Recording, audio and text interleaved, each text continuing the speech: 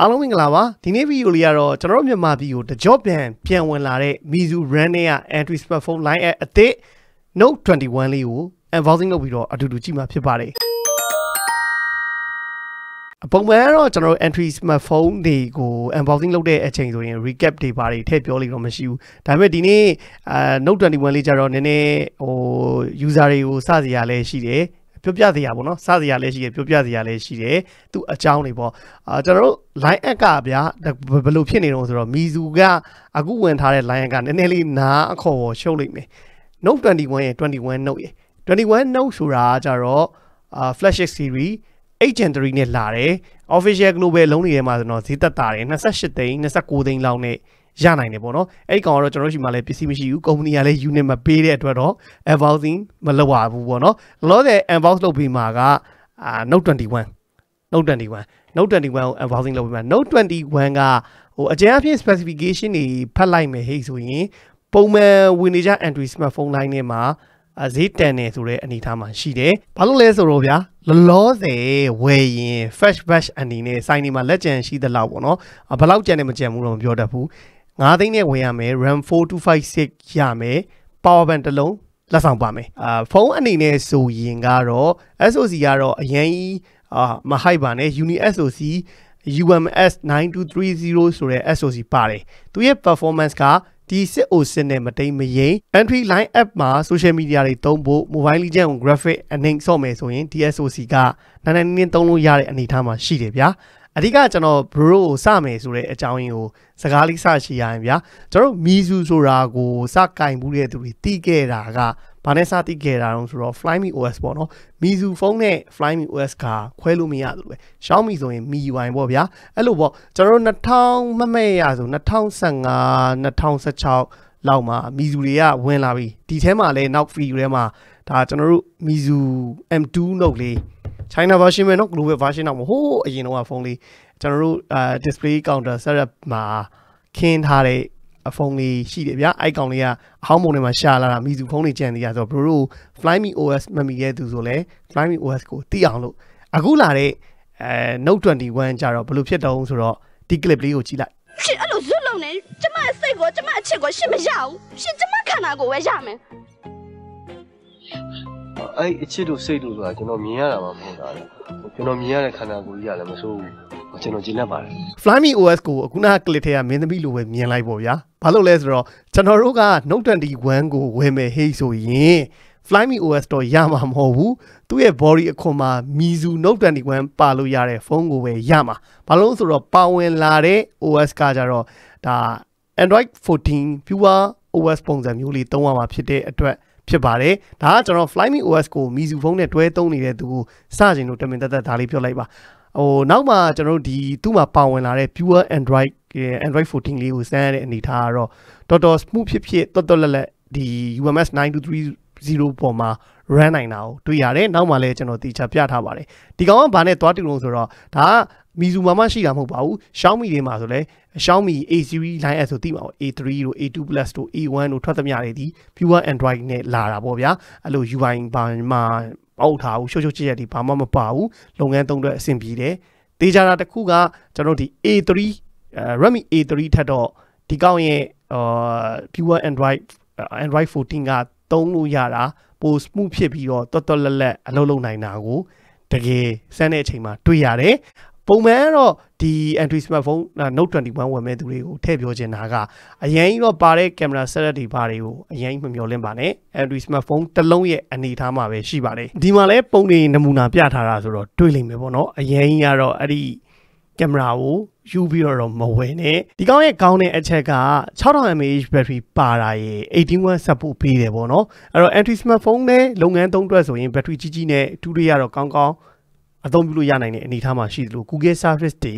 ကောင်းကောင်းအလုပ်လုပ်နိုင်တဲ့ဖုန်းတစ်ခုဖြစ်တယ်ပေါ့ဗျာကိုက Google service တွေသုံးမယ် battery ကြီးကြီးနဲ့သုံးကျင်တဲ့ဖုန်းရှာနေရင်တော့ quality ဖြစ်တာသေးကြတယ်ပါဝင်တဲ့ display quality တွေနောက်အတန်ထွက်အနေထားဘယ်လိုရှိတော့နောက်မှာတော့ထုံးစံတိုင်းအသေးသေးစမ်းပြီးထားပါတယ်သူ big quality အနေထားရောပေါ့နော်အဲ့တော့အဲ့ဒါတွေကိုကြည့်ကျင်တဲ့သူတွေကကျွန်တော်တို့ကြော်ကြည့်ကျင် time stand ထည့်ပေးထားပါတယ်အဲ time stand တွေနှိပ်ပြီးကြည့်ပါ နောက်တစ်ခုကဘက်ကြီးဆော့မဲ့သူတွေအတွက်ကတော့အာဒီဖုန်းကဝယ်သိနေတဲ့ထဲမှာမပါဘူးအဲဂျာရိုဆန်ဆာလည်းမပါဘူးနောက် gain heavy ဆော့မဲ့သူကတော့ဒီဖုန်းကို pass လုပ်ရပါမယ်ကျွန်တော်ပြောခဲ့တဲ့ Google service တွေသုံးကားတဲ့သူ pure android ကိုလည်းကြိုက်နှစ်သက်တယ် pure android ကို smooth ဖြစ်ဖြစ်သုံးကျင်တယ် battery ကြီးကြီးနဲ့ဆိုရင်တော့ဒီဖုန်းကိုဝယ်ပါအသေးစိတ်ကတော့နောက်မှဆက်ပြီးကြည့်လိုက်ပါဦးဗျ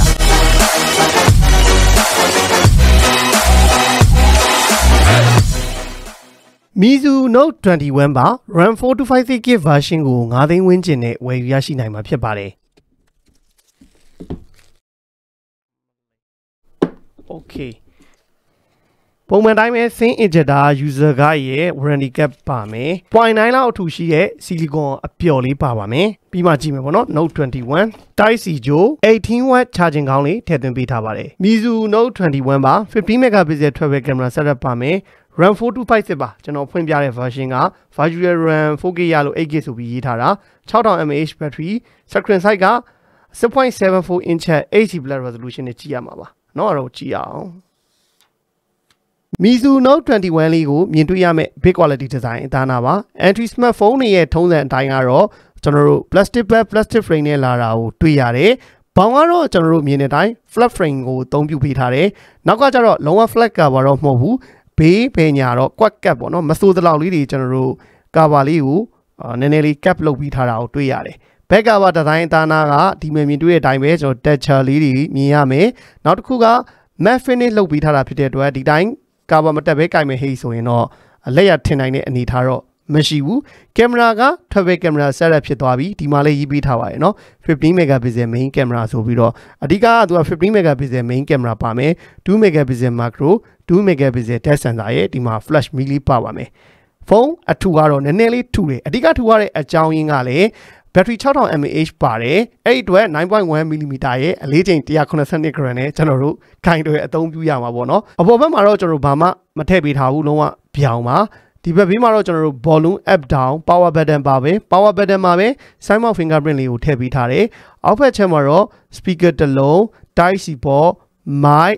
energy box ပါမယ်ပေါ့နော်ကျွန်တော်ဒီဘက်မှာတော့ sync slot လေးထည့်သွင်းပေးထားတာကိုတွေ့ရပါတယ် ဖုန်းရဲ့ screen size အနေနဲ့ကတော့6.74 inch HD plus resolution နဲ့ကြည့်ရမယ်90 Hz refresh rate support ပေးပါမယ် selfie camera 8 megapixel selfie camera ပါဝင်ပါတယ်စိတ်မကောင်းစရာတစ်ခုကဒီ Android smartphone မှာတော့ Flyme OS ထည့်သွင်းပေးထားတာကိုမတွေ့ရဘူးအဲချင်းနေပါစေတွေကတော့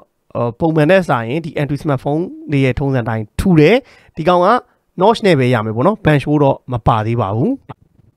Mizu Note 21လေးကိုဆက်လက်လုပ်ပြီးမြင်တွေ့ရမယ့်အနေထား Peep Bright နဲ့ဘာညာတော့ကျွန်တော်အတိအကျ website မှာလည်းကြော်ညာထားတာမရှိသေးဘူးဆိုတော့အတိအကျတော့မသိနိုင်သေးဘူး Brightness ကတော့ပုံမှန် Android smartphone SE အနေနဲ့ဆိုရင်လင်းတယ်လို့ပြောလို့ရတဲ့အထင်မှာပါတယ်ဒါပေမဲ့အလင်းရောင်များတဲ့နေရာမှာတော့နည်းနည်းတော့ကျွန်တော်မျက်လုံးအာရုံစိုက်နိုင်တယ်ပေါ့ Flyme OS က မီဇူရဲ့အသက် Fly Me OS ကတော့ဒီကောင်မှာသုံးပေးထားတာမတွေ့ရဘူး။သွားပြီးတော့စင်တာကကျွန်တော် viewer Android နဲ့သွားပြီးစင်တယ်။အနည်းဆက်ဆုံး Xiaomi ရဲ့မှာဆိုဗျာ Xiaomi A3 လို့ပါလို့ဆို MIUI နဲ့မှောက်ဘူးပေါ့နော်။အာဒီလိုမျိုးကျွန်တော်တို့ viewer Android ပုံစံမျိုးနဲ့လာတာကိုတွေ့ရတယ်ပေါ့။အဲ့တော့လောဆယ် Android smartphone ကင်ခြင်းနဲ့ Fly Me OS ပါခြင်းနဲ့ဟေ့ဆိုရင်တော့မဖြစ်နိုင်သေးဘူးပေါ့နော်။ Fly Me OS ကဒီမှာကျွန်တော်တို့ထည့်ပေးထားတာကိုမတွေ့ရပါဘူး။အခုနကကျွန်တော်ပြောတဲ့ RAM 44ဆိုတာနော်ဒီမှာတွေ့နော် RAM 44ဆိုတာကျွန်တော်စမ်းပြီးတာကဟိုဟာ RAM က 4K virtual RAM 4K မို့လို့ 8K ရတာပါ Android version 14နဲ့သုံးရမှာပါအဲ display and brightness မှာဘာ feature တွေပါတော့ကြည့်အောင် adaptive brightness ပါမယ် brightness level နောက် lock screen screen time out display size and depth နောက် color and contrast ကအယောင်တွေ color တွေတော့ကျွန်တော်တို့ဒီမှာ automatic contrast လဲထားလို့ရတယ်အဲ့ဒါတော့ကျွန်တော်တို့ကြည့်တဲ့ပုံမှာမူတည်ပြီးတော့အယောင်ကိုပြောင်းလဲပေးမှာ အဲ increase contrast ကတော့ contrast ကိုပိုများမှာပေါ့ဒီမှာတော့ကျွန်တော် automatic contrast ပဲထားပြီးတော့ကြည့်ပါမယ်နောက်ပြီးရင် video display enhancement ကကျွန်တော်တို့ကြည့်တဲ့ video တွေမှာပိုကောင်းတဲ့ရုပ်ထွက်ကိုရအောင်လို့ကတော့အာသူ software optimization ပေးထားတာရှိရဲ့ဒီကောင်လေးကိုဖွင့်လိုက်ပေါ့နော်ကိုကတကယ်လို့ Note 21သုံးနေတဲ့ဟိတ်ဆိုရင်နောက်ထပ်ကကျွန်တော်တို့ night live ဆိုတာကအာကျွန်တော်အခြားဖုန်းတွေမှာဆိုတော့ reading mode နဲ့သွားဆင်မယ်ပေါ့နော် blue light ကို filter လုပ်လိုက်တော့အဝါရောင်ဘက်သွားမယ် refresh rate ပါတယ် အဲ refresh rate က 90 Hz ထိ support ပေးတယ်ပေါ့နော်အဲ့တော့ကျွန်တော်တို့ auto မှာထားရင်တော့1690အလိုလျောက်ချိန်ကြီးပေးမှာဖြစ်ပါတယ်နောက်ဒီကောင်အာသာချက်က6000 mAh battery ပါတာပေါ့နော်ဒါသူ့ရဲ့ကောင်းတဲ့ချက်ပါ smart control မှာဒါ smart weight ဘာညာအတူတူပဲကျွန်တော်ဒီ navigation ကြီးကကျွန်တော်သုံးနေတာပြောင်းပြန်ကြီးဖြစ်နေတယ်ကိုယ့်အတွက်ပြောင်းပြန်ဖြစ်နေရင် setting တွေက navigation မှာအဲနော် navigation မှုကိုကျွန်တော်ကဒီမဲ့သူက3 pattern ကိုစိတ်ကြကျွန်တော် gesture ပဲသုံးပါမယ် ကျွန်တော်အတွက် gesture ပို့ပြီးတော့စမှုဖြစ်ပါတယ်ပေါ့နော် gesture နဲ့သုံးနေကြဆိုတော့ကဲရပါပြီနော်အလင်းကများနေတယ်အဲ့တော့ဟိုအခုစမ်းတဲ့လောက်ကတော့ဗောနော်ကျွန်တော်တို့ဒီ software တွေဝင်တာထွက်တာဘာညာကတော့သူ့ရဲ့ဖုန်းက smooth ဖြစ်နေတယ်လို့တော့ခံစားရတယ်ပေါ့နော်သူသူသူသွားတဲ့အနေအထားမှာ Flyme OS သုံးချင်ရင်တော့မပါလွဲပြီးတော့အာဒီလိုသုံးလို့ပြုလို့ကတော့အဝင်ထွက်ကတော့ smooth ဖြစ်နေတယ် နောက်ဆက်ဆန်းကြည့်မယ်နောက်ထပ်ကကျွန်တော်တို့ Flyme OS အကြောင်းကိုမသိခဲ့တဲ့သူတွေကဒါကကျွန်တော်တို့လွန်ခဲ့တဲ့2016 2015လောက်ကထွက်ခဲ့တဲ့ Mizu ရဲ့ Mizu M2 ပေါ့ဗျာကြာပြီဒါကျွန်တော်ကအဲ့တုန်းကဆိုင်မှာ counter display မှာခင်းထားတဲ့အလုံးကိုဘရိုတို့မသိရတဲ့သူတွေ packaging မြင်ရအောင်ပြန်ပြီးတော့ယူလာပေးတာဒါက Mizu M2 အဲ့တုန်းက charger လေးတွေကြည့်လိုက်အောင် 5 watt ကောင်းလေးပါမယ်တော့ဒီမဲ့ Flyme OS ဆိုတော့ ဒီမဲ့သူ့ရဲ့အရင်တော့ Mizu ရဲ့စင်းပင်လေးကအစဒီမှာကြည့်လိုက်ပါတော့ကျွန်တော်တို့ Flyme ပင်လေးเนาะဒါကကျွန်တော်တို့က counter မှာခင်းပြီးတော့ testing လုပ်တဲ့အလုံးเนาะဒါကျွန်တော်တို့ Mizu ရဲ့ Flyme OS လေးပါမြင်မှုတဲ့ရှိအောင်မသုံးဘူးခဲ့တဲ့သူတွေကိုပြန်ပြီးတော့ကျွန်တော်တို့ပြပေးခဲ့တာဖြစ်ပါတယ်အရင်တုန်းကတော့ကျွန်တော်တို့ Xiaomi နဲ့အပြိုင်ကျွန်တော်တို့က2015 2016လောက်ကဒီကောင်လေးတွေကိုရောင်းတာပေါ့နော်အဲတော့က Mizu လဲ official global မဝင်သေးဘူး ဒါကကျွန်တော်ဆိုင်မှာခင်းထားတဲ့အလုံးလေးနမူနာကျန်တာပြတာဈေးက3သိန်း2000ခွဲပေါ့နော်ဒီမှာနော်အဲလည်းနှစ်ချက်ပေါက်ပါညာပါတယ်နော်ချစ်စရာလေးအခုအနေနဲ့ဆိုရင်ကိုမစိုးသေးဘူးเนาะအဲ SOC ကတော့အရင်အကောင်အကောင်ကြီးမဟုတ်ဘူးဒီကောင်က MT 6065လားမသိဘူးเนาะအဲ့ကောင်သုံးထားတာဟိုအခုဟိုဒါပေမဲ့ဗျာသူ Flyme OS ကဘာကောင်းသေးတာတုံးဆိုတော့အဲ့တုန်းက Flyme OS ကဒီမှာ အာ Flyme OS က4.5.3တဲ့เนาะ4.5.3 Android version 5.1နဲ့ဆိုပြီးတော့ကျွန်တော်တို့သုံးခဲ့တာဒီအချိန်တုန်းကတော့ officially လည်းမဝင်သေးတော့ကျွန်တော်တို့ကဒါ root တွေဘာတွေလုပ်ပေါ့เนาะအဲအဲလိုလုပ်ပြီးတော့အာ software တွေသွင်းခဲ့ရတဲ့အချိန်ပေါ့နော်ဒါသူတို့ Flyme OS ကြိုက်တဲ့သူတွေလည်းရှိပါလိမ့်မယ် back ဘာညာထွက်တာဒီကောင်လေးဒီ button လေးကိုဖိစီရမလို့သူအဲ့မှာ haptic feedback လေးပါတယ်ဒါလေးနှိမ့်လိုက်တုံတုံတုံတုံနဲ့ဆိုပြီးတော့အဲ့တော့ Flyme OS တကယ်သုံးမှုခဲ့တဲ့သူရှိရင်လည်းပြန်ပြောပြပေးအောင်ပေါ့နော်ဒါကတော့ကျွန်တော်တို့ဆိုင်မှာနမူနာခင်းထားတဲ့ဟိုးအရင်တော့ခင်းထားတဲ့အလုံးအဟောင်းပုံတွေကနေပြီးတော့ပြန်ရှာလာတာပါဆိုင်မှာတော့မရောက်တော့ပါဘူးဒါနော်ဟို Flyme OS အမှတ်တရပါဗျာအဲ့တော့လောလောဆယ်ဝင်တဲ့ကောင်ကတော့လာတော့ဟိုမီဇူတော့မီဇူ Flyme OS မပါလာလို့နမူနာလေးပြန်ပြပေးတာဖြစ်ပါတယ်ကဲအဲ့တိတော့ဒီကောင် Android version 14နဲ့ရမယ် dialer တစ်ချက်စမ်းမယ် dialer က Google dialer ဖြစ်သွားပြီ Google dialer ဖြစ်သွားတော့ကျွန်တော်တို့ကအာဖုန်းခေါ်နေရင်တော့အတန်ဖမ်းနေပါသည်လို့ on နိုင်တယ်เนาะတကယ်လို့ voice recorder ရတယ်ဟေ့ဆိုရင်လေနောက်ထပ်ကကျွန်တော်တို့ပါတဲ့ကင်မရာတွေပေါ့နော်ကင်မရာတွေတစ်ချက်ဝင်ကြည့်ရအောင်15 megapixel main camera လေးပါတာဆိုတော့အဲ့တော့ထွေထွေထူးထူးဘာတွေပါတော့ portrait ပါမယ် panorama ပါမယ် portrait ပါမယ် pro မှုပါမယ် capture ပါမယ် video ပါမယ် time lapse ပါမယ်မိုးမှာကြတော့ audio note တဲ့ QR code နောက် ultra resolution ဆိုတာ15 megapixel နဲ့ရရင် ultra resolution နှိပ်ပြီးရရမယ် macro ပါမယ်နိုင်မှုပါမယ်ပေါ့အဲ့တော့နောက်က travel camera set ကဘယ်လိုဖြစ်သွားမှာလဲ15 megapixel ပါမယ် macro ပါမယ် depth sensor ပါမယ်เนาะအဲ့လိုဖြစ်သွားပါလိမ့်မယ်ကျွန်တော်တို့ကဒီကောင်တွေကိုလုံးဝ spec ကဖတ်လို့မရအောင်မြန်မာပြည်မှာအရင်ဆုံးဝင်တဲ့ပုံစံဖြစ်နေတာ ပြီးရင်ကျွန်တော်တို့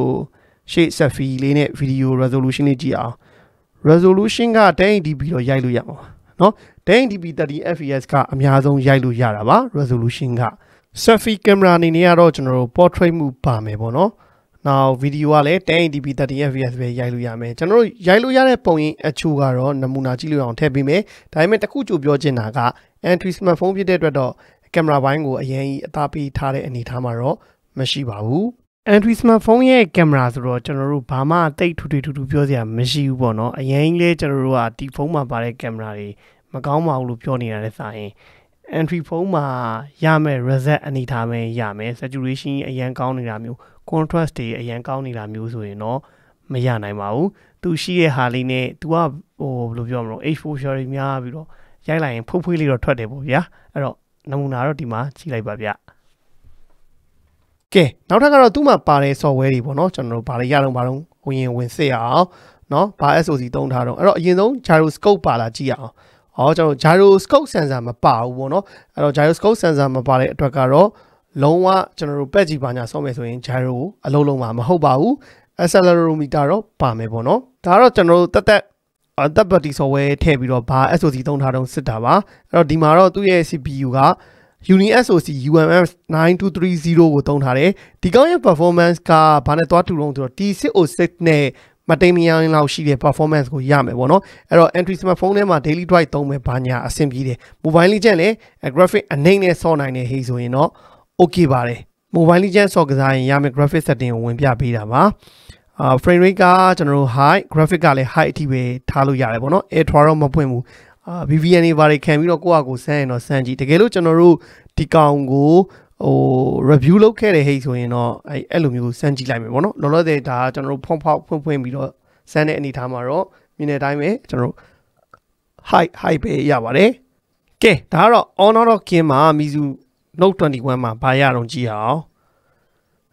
အာ graphic setting ကတွေ့လား honor of king မှာ ultra ရရင် mobile legend မှာလည်း ultra ရနိုင်တယ် honor of king မှာဆိုရင် resolution က ultra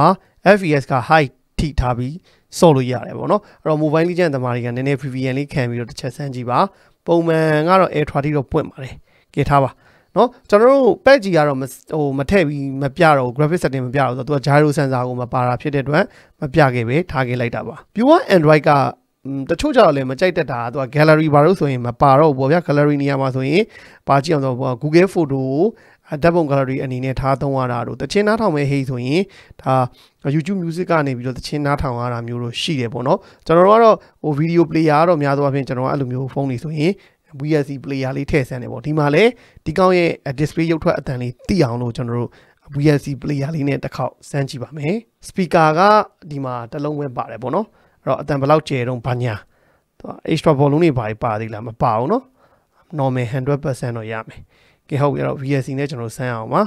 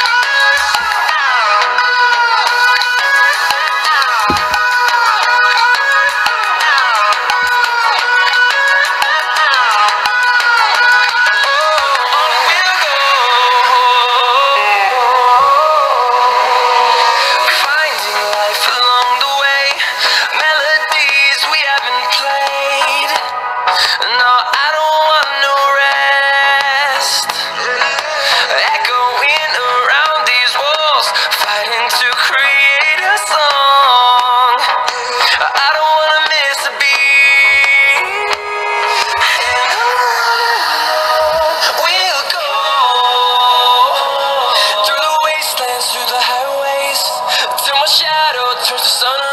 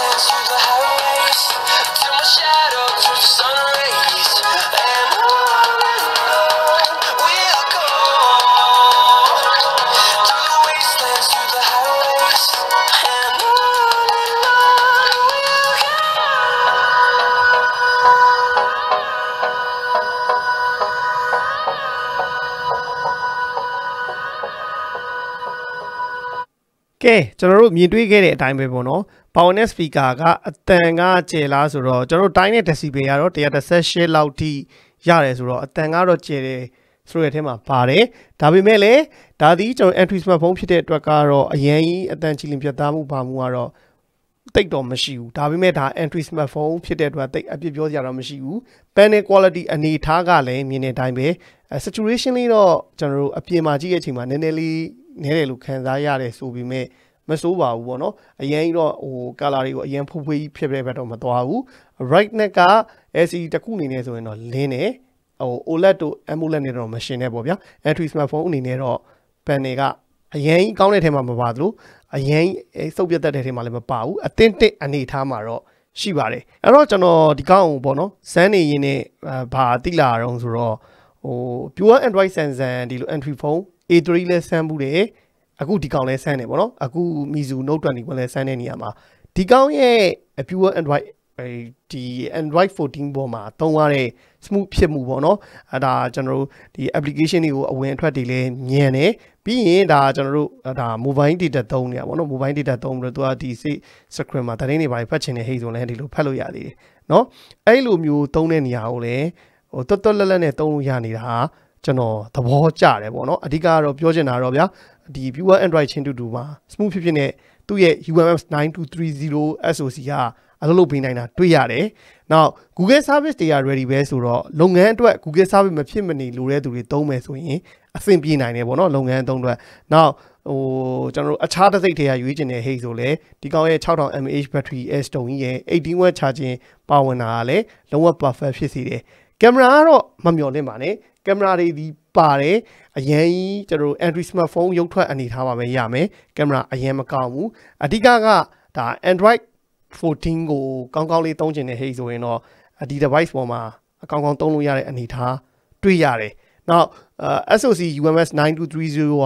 ကကျွန်တော်ဒီမှာစမ်းသပ်လောက်ကတော့ smooth ဖြစ်ပြီးတော့တွက်နေတာကိုတွေ့ရတယ်။ Now ဒီတိုင်းကင်မဲ့ဟိဆိုရင်တော့နောက်ကကျွန်တော်တို့ရှေ့မှာပြောခဲ့လို့ matte finish ဆိုပေမဲ့ကျွန်တော်စမ်းနေတော့ လက်မှာအစီရတွေပါလာရင်တော့နည်းလေး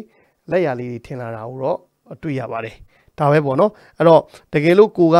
ဒီ9သိန်းဝန်းကျင်မှာသုံးကျင်တဲ့လုပ်ငန်းအတွက် Google Service တွေပါပြီးတော့အဆင်ပြေပြေသုံးလို့ရတဲ့လုပ်ငန်းသုံးဖုန်းတစ်လုံးရှာနေတဲ့ဟဲ့ဆိုရင်တော့သိကြတယ် Note 21ကရွေးတဲ့ထဲမှာပါတဲ့ဖုန်းတစ်လုံးလို့ပြောရင်းနဲ့ဒီနေ့ဗီဒီယိုဒီမှာလည်းအဆုံးသတ်ပါမယ်အားလုံးဘိုင်းဘိုင်းပါခင်ဗျာ Here we go